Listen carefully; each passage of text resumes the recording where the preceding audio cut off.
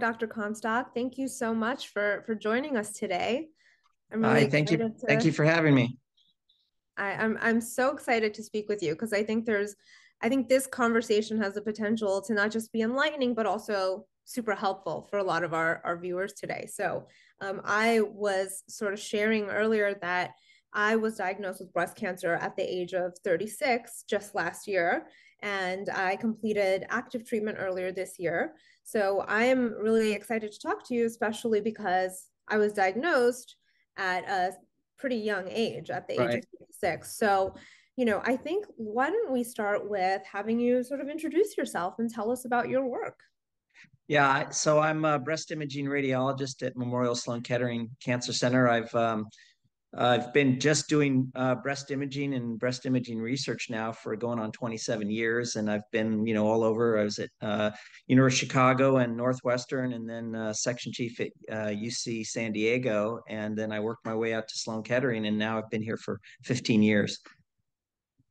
Wonderful. And why don't we talk a little bit also about your BCRF supported research? Right, and uh, it's just so it's so critical for researchers like me to have this type of support, and uh, really the the the vision of Larry Norton, who you know I work with and and refers patients, and he's seen the power in uh, my particular interest in contrast mammography. So he's been instrumental in um, you know making this happen and happen and supporting this. So.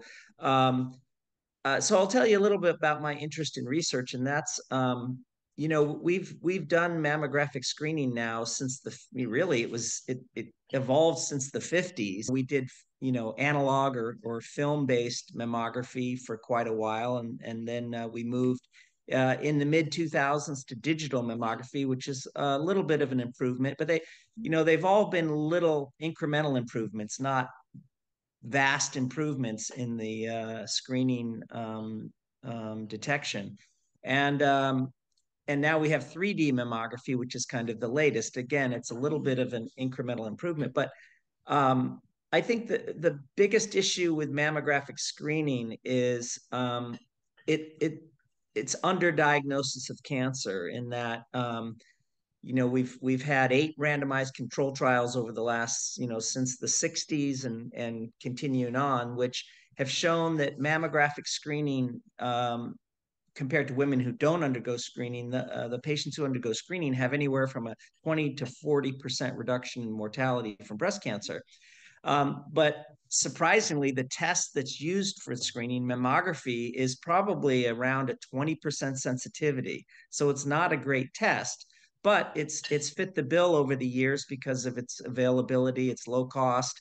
But um, you know, it's surprising that with such a you know you know poor test uh, that it's it's managed to reduce mortality um, from screening that much. What my interest in is something called vascular based screening, which includes uh, contrast mammography and MRI, which allow you to see the early changes of cancer from the vascularity that changes before you actually see a, a tumor that's big enough to detect on mammography and ultrasound. So, uh, you know, vascular based screening has the ability to really improve sensitivity. And I think, um, you know, despite improvements in therapy over the last, you know, 20 years, um, we, we still have, you know, over 40,000 women die annually uh, from breast cancer. So, I think the, the, the quickest improvement and, and, easiest way to, to reduce mortality um, significantly is finding more cancers earlier. And that's where vascular based screening, um, such as uh, MRI and contrast mammography,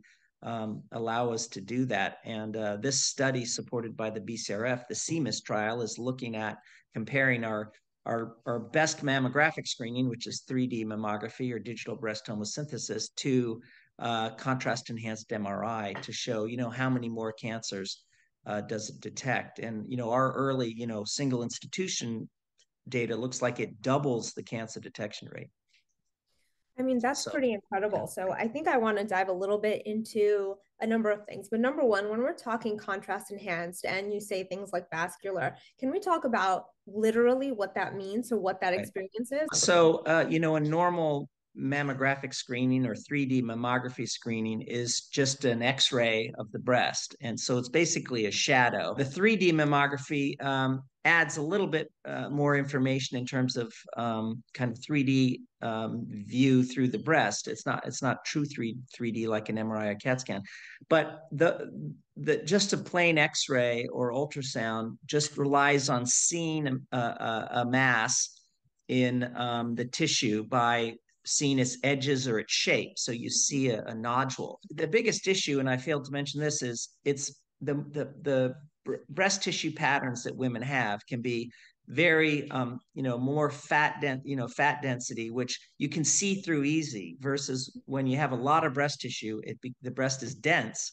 mm-hmm. then you can't see through it as well and so that's like looking for a snowman in a snowstorm you know the more the more of a storm there is the harder it is to see things and so that's the limitation of mammography and when you have contrast so with MRI, you have an injection of gadolinium, and mm-hmm. the MRI can see that area of contrast, and it's not limited by breast density. And the same with contrast mammography. It's it's a mammogram like a conventional mammogram, but prior to that, you have an injection of uh, iodine contrast, which is what we use commonly all the time with CAT scans. And mm-hmm. so that allows you to see areas that are hidden in the tissue because it's not limited by breast density. Uh, right. And I think that that's what's really interesting because we're talking about this contrast enhanced mammography. And for a patient, what that means is it's an injection. It's really right. simple. It's not something right. that is a different machine. Like it's not that different of an experience. Right. It's more of yeah. a you walk in and it's an injection. Right. I think the access to the to the mammography is much easier than MRI, which is there's a lot fewer uh, uh, uh, magnets around and, and centers to to do that at versus every place has you know lots of mammography units which can do contrast mammography exactly so i think that that's really an interesting take on it too because we're talking about improving technology but we're not talking about improving technology and having to roll out hundreds of new machines across centers right. I mean, we're talking right. about really accessible right. change in the way we conduct screening right uh, which is really, really interesting. And one of the questions that we wanted to talk about, just to outline for patients, you've touched on this a lot already, are sort of the different avenues of screening there are. So we've talked about mammography, MRI, and ultrasound. Can we talk a little bit about just those methods to sort of explain what are the options for patients and right. why certain why do you choose some over right, others? Right. you will yeah, get into breast density for sure. I have a lot of questions about that for you. Right. Well, and so this is the whole, you know, now that we have several tests you know how do patients and referring physicians decide and uh, and I think that's that's work an area that we need to work on, and I think it really becomes a, a combination of um, you know education of the referring physicians of the, the pros and cons of each test, and also patients who um, who know you know may have preferences on in different tests, and so I think in general. Um, you really want a, a program where you um, have tailored screening based on the patient's risk, their breast density, and how you know what level of sensitivity do they want versus you know those more sensitive tests may have some false positives. So um, i really see you know the program of um, patients who so there's four four categories of um, de, uh, breast density right. and uh, there's a a b c and d and so generally for the the top two categories um, uh, uh, C and D, heterogeneously and extremely dense, you know, the mammographic sensitivity is going to drop. So those patients should have some supplemental screening, either a contrast mammography or MRI. Um, and so it's kind of based on your density and your risk. So let's say you're you don't have a you don't have any risk factors and you're not dense, you're probably okay with just mammographic screening or mam- mammography plus ultrasound. Um, now, if you're dense and you're intermediate risk, you probably would want to do uh, just contrast mammography. And then if you're really high risk, um, you're, you know, that's who we recommend MRI on. Mm-hmm. Um, and then, you know, let's say you're higher risk, but then if you're, let's say, a gene carrier, um, which is the highest risk, you may do a combination of both. You may have alternating contrast mammography and MRI, which we see some from some some of our referring physicians. So I think it's a work in progress, but I think that's the general idea: is a combination of um, you know your your personal history, family history, and genetic um, models to assess your risk and your breast density um, to combine to really um, and to decide what the patient prefers in terms of you know some patients may not be comfortable in the MRI they're claustrophobia, and uh, some patients might prefer contrast mammography. Um, and lastly, um, you know, there are new methods. Um, Connie Lehman, who's also uh, uh, one of the research at, at, at, BCRF and whose work has been supported uh, at MGH and with collaboration with uh, MIT, has really a novel work on. So it's not just your family history and your genetic, uh, you know, these different, you know, Tyrer-Cuzick and different models, uh, BRCA Pro, et cetera. But her work has shown that with AI, you know, artificial intelligence and and um, computer imaging that there's a certain you know patterns in in, in a in a woman's mammographic pattern mm-hmm. um, that can inf- that infer higher risk. So I think in the future we're going to see a whole you know new you know type of you know based on family history, but also um, uh, artificial intelligence looking at your patterns of your mammogram and combining that to say you know what should be the best program uh, mm-hmm. for you. Right. And now we're talking about m- machine learning to not just um, detect cancers, but also predict future cancers as well, right? But I do want to talk a little bit more just the basics of dense breasts as, as well as, um, and then we'll get into sort of the risk-based screening and sort of what we're hoping to do there as well and the role that CMIST plays in that. You know, it's an interesting, uh, you know, there's no formalized pathway in, you know, in breast imaging or in radiology that for adopting new technologies it's kind of you know hit or miss and uh, and so that's the that's really the the goal of the CMIST trial, which stands for Contrast Mammography Imaging Screening Trial, uh, which you know the BCRF is, is supporting, is you know to to get some basic phase two data and a you know major publication to really foster adoption. I mean, it takes you know a, multi-center trial and and a, and a major publications and you know the, the the actual the community of breast imaging, the Society of Breast Imaging and its members. This is a very hot topic, but you know one of my frustrations is it's just it, it, things change very slowly, and it's it's hard to you know we know the power of this technology, but it's really working on the research and the science to try to get uh, to promote adoption, and that's I think really the the main goal of the CMIST trial is to show how well it works in a in a very scientific, you know, multi-center fashion, and that way, you know, referring physicians and you know other radiologists will see that and and decide, hey, this is something we need to offer to our patients. Mm-hmm. And I think one thing that I wanted to highlight is that you've sort of mentioned it, but I really want to drive home the success of contrast enhanced mammography as far as reducing false positives or even false negatives. So you were talking about improving screening by double. I, I read that it could be up to 80% improvement. I mean, those are pretty huge right. numbers when right. we're talking about improving screening. So right. just want to underscore that. I mean, we're not talking about improving screening by 10%, 20%. We're talking about a huge amount of improvement.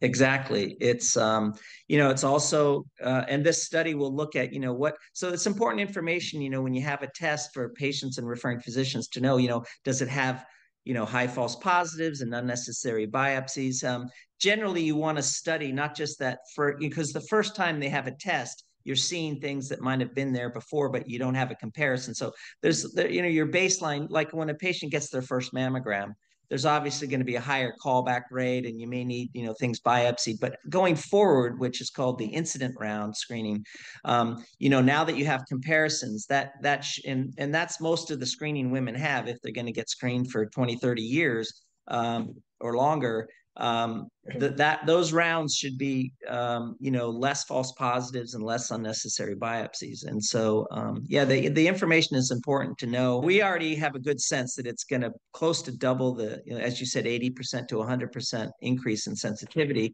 But we want to show also that it's you know well tolerated and the um, the false positives are are low. Mm-hmm. Exactly. Yeah. There, you know, was that new study, of course, that there's been this increase in incidence in women under the age of 50, and of course, an 8% increase in incidence in women ages 30 to 39. And, you know, we've of course long known that incidence has been on the rise, but this was the first study that really um, quantified that in, that that increase in risk in that younger age group, which is particularly vulnerable because they're not being screened annually. Right.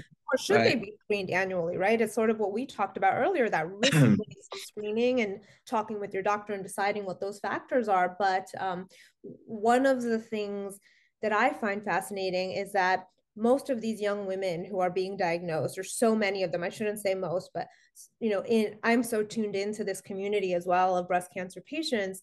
So often and more often than not, you'll hear how patients brought the diagnosis to their doctor or right. said, I feel this lump, and the doctors right. will always inevitably really not recommend mammography. They really, they really don't want to have, you know, recommend screening. And I don't necessarily, I've been struggling with that because I don't think it's that doctors don't care, like your PCPs don't care, your primary care physician doesn't care about you, or that they, I think a lot of it also has to do with the fact that they have less faith in the accuracy right. of mammography.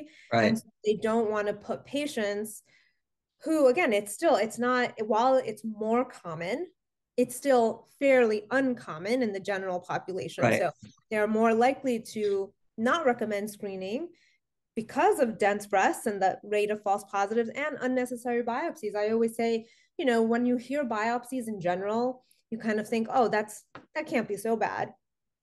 But then you're a patient right. and you get a biopsy, and then you get that biopsy bill, and you realize, wow, this yeah. is really expensive. Right. It's a huge financial burden associated with, with biopsies. So I do think that one of the reasons I'm so hopeful about CMIST is that I love this idea that it will improve confidence specifically for people with breast and that's the majority of, of patients under 40 right so.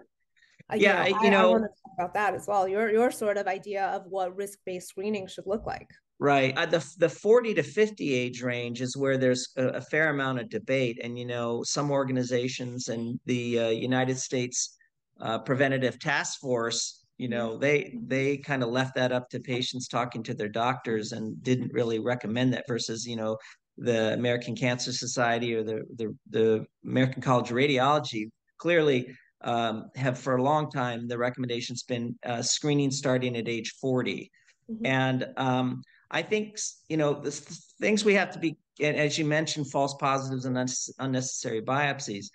I think um, some of that modeling and the recommendations from the, the task force factored in you know the anxiety or stress from having an unnecessary biopsy or being called back and the anxiety from that. And i don't think they give women enough credit really because um, I, I, know um, you know like ultrasound screening ultrasounds not that that has a fair high, high false positive but women seek it out because they'd rather have their breast cancer found over you know kind of that you know it, the anxiety but it's it's a short event. It's you know coming back or you know it's over a week or so or they get a biopsy and it turns out to be benign. And you know it's it's uh, most biopsies should not be uncomfortable but you know the anxiety and that. But i think uh, most women would prefer to undergo that and then you know that that fades away. That's not a permanent um, aspect uh, negative aspect versus you know i didn't get this you know i didn't get screening and now i have this palpable lump that with with nodes positive and there the anxiety of hey i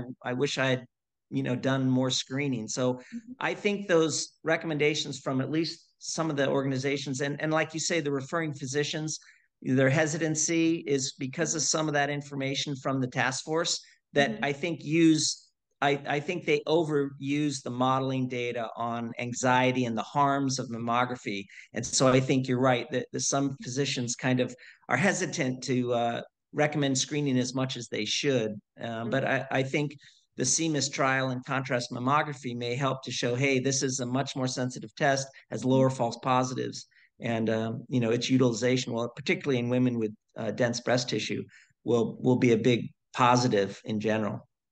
Exactly. I, I I couldn't agree more. I think as a woman and reading that about the including that in the modeling, uh the idea of anxiety, I always say like there's nothing like the anxiety of a woman who's been diagnosed at a later stage. Right. Right. there there is no comparison to right. the anxiety of screening versus now being diagnosed at a later stage. And I think, yeah. you know, personally, as I was saying, a lot of young patients specifically, when they go in to talk about risk factors, even that can be a, a longer conversation to be had with doctors. I think like you were saying, starting in your 20s, just talking, just having that conversation with your doctor to outline what your risk factors are and when you should begin screening is really, really important. So um, no, I, I'm I'm with you on that, and and right. even that regret as far as not advocating for your own um, screening or mammography can be really a, a big regret later. Um, yeah, yeah.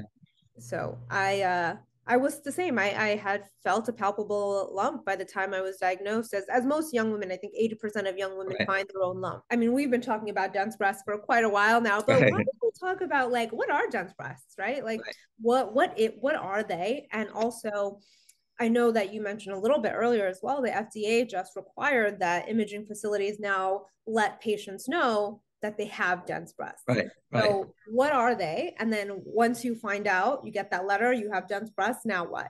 So right.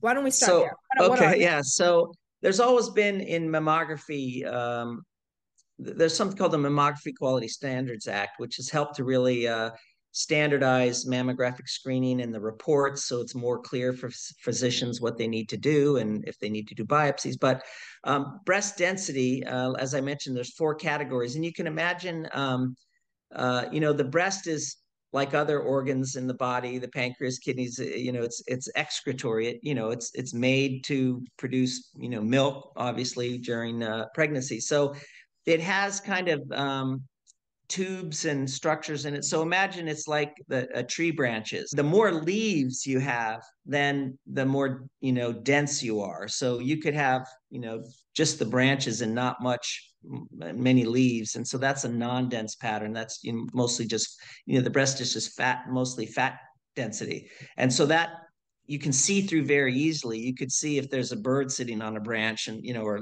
let's say it, call it a crow but uh so, but the more dense, then the more leaves. And so some some patients are extremely dense where you you can't see anything in sitting on a branch anywhere. And so um, that's the whole aspect of breast density. Now, you know, I feel kind of the media and our and radiology community in general, I think back in the 60s and 70s when mammography was rolling out during the the uh, the American Cancer Society War on Cancer, and that's you know kind of the time when breast imaging became a specialty, and and when uh, mammography and breast cancer screening really got promoted. Um, I, I, hate to say it, but I think we we oversold mammography. You know, it's not a cholesterol test where you know you put a sample and you get a number out. It's it's you know based on the radiologist's experience and and um, ability to you know detect uh, these patterns in in the pat in the mammogram but so in the last 10 years, um, it partly through grassroots and an organization, there's a, a website called Are You Dense?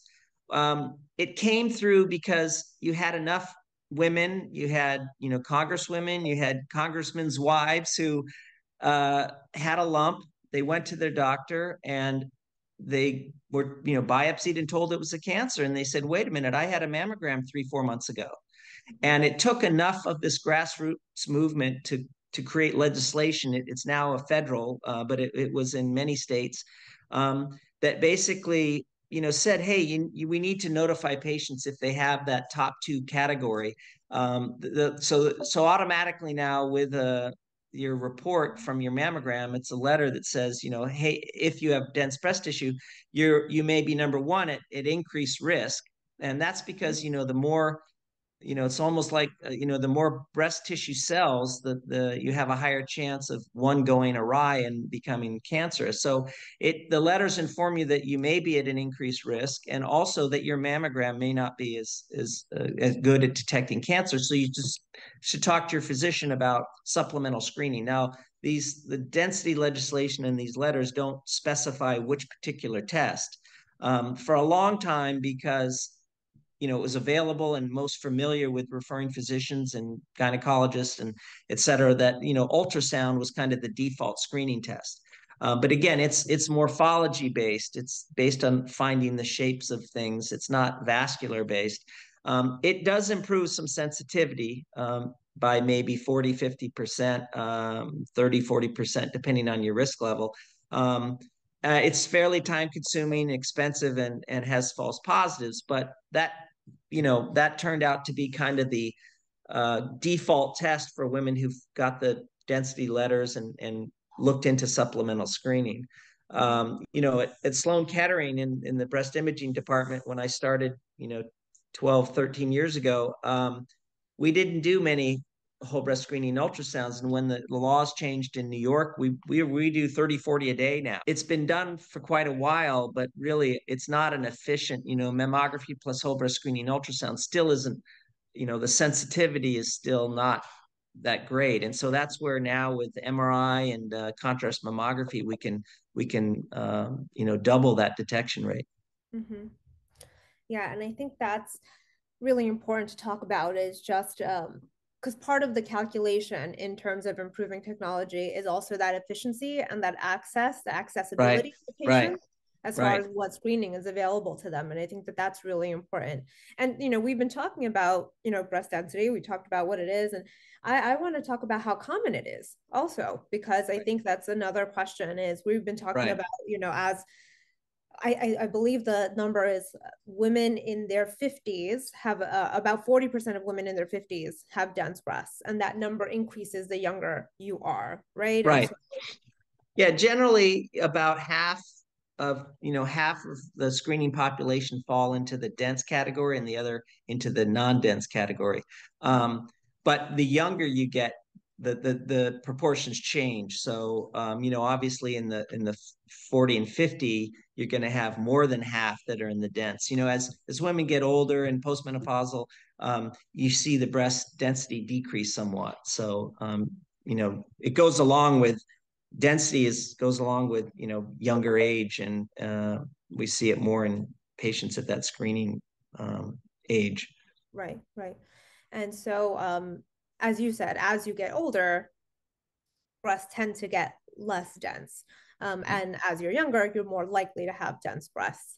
And right. interestingly, dense breasts are considered also a risk factor for being diagnosed with breast cancer as well. And sort of what you said before, just the, the number of breast cells available. Right. It's kind of like lottery tickets, right? right? The the more tickets you have, the you know, the chance your your number could be called versus if you buy one ticket, you know, you're not dense, the chances of um, that, you know, those fewer cells having a cancer develop. And it's just related to the sheer number of right. breast tissue cells yeah. that's available. And and we've talked about screening, especially for dense breasts. And you had touched on it earlier, sort of the you know combination. So it's not just mammogram alone. It'll be some combination of either MRI or whole breast ultrasound. You mentioned also um, potentially alternating. So what does that mean? What do you mean by alternating? So there's there's there's not a lot of data, but in general, it's kind of accepted that um, you know, some patients instead of getting both their screening, let's say they're doing uh, mammography and ultrasound or MRI, um, that if you spread them out, you do one and then six months later, you're in essence getting, you know, a test every six months, which may, you know, potentially find something that was just not visible at the time of screening. And then, you know, a few months later, now it's seen on the second test. There's no real studies or data, but so some people you know do that where they'll do an alternating rather than having the screening at the same time they'll have them six months apart mm-hmm. but and i was talking about uh, some you know gene carriers or or you know brca carriers they're you know they're at such a high risk you actually might do two you know an mri and a contrast mammo mm-hmm. at, you know six months apart so you're getting double screened you know in essence right. um, and we, we see some of our you know, from the high risk clinic referred for that type of program. Right. Right. Okay, great. So, I mean, we've talked a lot about our hopes for for CMIST and and screening and young women and with um, in all populations and especially for for those with dense breasts. You know, what are what do you see also? And you you've touched a little bit on on Dr. Lehman's work. Um, what are what are some of the most promising areas of research or screening that that you're most excited about? Uh, well, you know, as I mentioned, I think the, the quickest, the low hanging fruit to really, you know, reducing mortality in, in, a way that we haven't seen since the initiation of mammography. So I think we really need to work on the detection side of things. Now, in the long run, there's there's um, you know obviously you know liquid biopsy would be a very you know something you could potentially do at home, uh, access wise would be, but the technology just has you know, probably 15, 20 years in my guess to really it's not going to replace mammographic screening or, or MRI or contrast mammography because it's just it's just not sensitive enough right now. But I think it will have a role. Obviously, things improve over time. So I think I think for now, contrast mammography, and then further in the future, liquid biopsies, where you can detect whether a patient has cancer just by doing a quick blood blood test. Mm-hmm. Um, mm-hmm. So, and, and, let me add, let me add one more. I was just at an advisory meeting on really the next, and I really like this. Uh, one of the companies had this advisory meeting, and they had a a, a company that that kind of um, uh, ran it, and and basically they said, okay, you're in 2043 mm-hmm. okay 20 years from now tell me what you see and and and the things that are, need to happen and are going to change and the other thing i would bring up would be you know vaccines for breast cancer i mean those also uh, could be potentials for certain not all types but some types of cancer so i think you know we're coming at it from from multiple uh, fronts and hopefully you know within the next 20 years we can significantly reduce you know, we we should reduce significantly, um, die, you know, women dying from breast cancer. Mm-hmm. I mean, that's you know what every patient wants to hear. I think, uh, and I and I, it leaves me quite hopeful for what the future holds, not necessarily just for patients, but also for future patients. And I did want to touch a little bit. I know that CMIST um, is is on its way and have started right. to enroll patients. Um, how how soon do you think we're bringing that to the bed? Like how like what's the time frame that you think in the next five to ten years that contrast enhanced you think if again it proves right. to well, be I think within the next you know five years, you know once the, you know the results, the early results should be out in you know probably three years. Mm-hmm. um, from the first round of screening. And generally, then once that's published, um, I think more and more centers will start offering it for their patients. And so um, I don't think it's a long term. I think it's a short term, five years, where we see, um, you know, that's what happened with the abbreviated MR now. We see uh, probably 100 centers now offering that across the country because of that that study through the NCI and that that publication. So, uh, and the, the fact that it's you know a center doesn't have a breast MRI or a, a, an MRI unit, they have to use the general radiology MRIs, and so they're kind of competing for time. Um, but with this mammographic screening and contrast, mammography is is widely available, so it's very easy for a center to offer that. So I could see a much more rapid uptick in in offering that to patients who seek it out and say, you know, I'm I'm dense, I'm intermediate risk. I'd like I'd like something more than just ultrasound. And um, so I, I, see it in the near near term, really, and that's the goal of CMIST. Right. Yeah. I mean, I think that that's so. Um, I mean, I've been talking about how excited I am about this, but I think just sort of the factors that you um, outlined the accessibility, the ease of unrolling it, the success rates, and hoping that as more centers like you said are become more become aware of the study that you're the results of that study in the next few years right.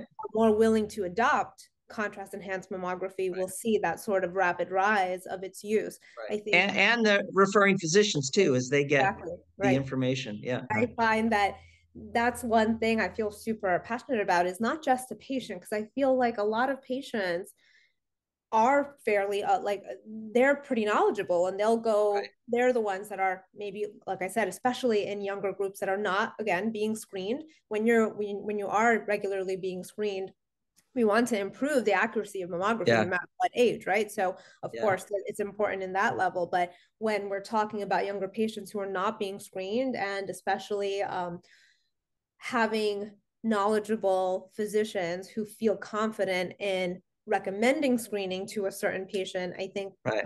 I'm hoping that we inc- we we improve survival for that cohort as well because I, I think that's that's what I find disheartening is that a younger patient group that is again not being screened and shouldn't shouldn't be getting screened unless they're deemed high risk. So there's that two pronged approach of doing a better job at risk assessment, identifying those that need to be screened.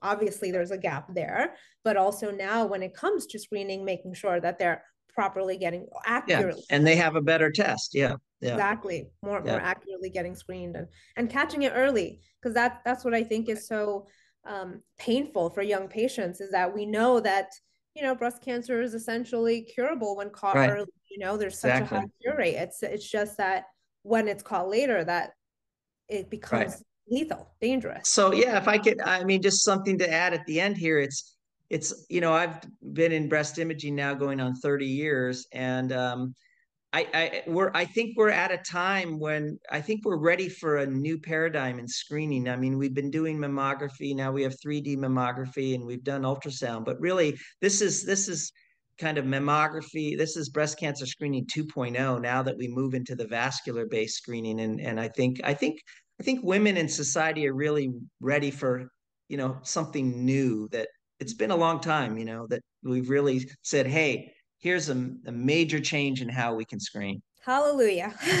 so, and I, I really, you know, really and it's, yeah. and I have to say that, you know, this couldn't have been done with this absolutely, you know, obviously it's in partner with the vendors, but this could not have been done. And we've opened up, we're about to open at Sloan Kettering and that'll be we're almost up to uh, we have four this will be five and pretty soon six sites open. We hope to hope to have about 14 sites but it could not have been done and uh, without the bcrf support and sticking in sticking with us and hanging in there despite covid delays fda delays and then shortages and you know staffing afterwards. So um, and larry norton has been just instrumental in, in having the vision and i think because he uses it on his patients and he sees the power. And uh, we, uh, you know, we could not have gotten this trial off and running without BCRF and, and Dr. Norton. So, uh, um, and Doraya from from the BCRF. So uh, I'm uh, I just want to get get it accrued now and, and get the results published.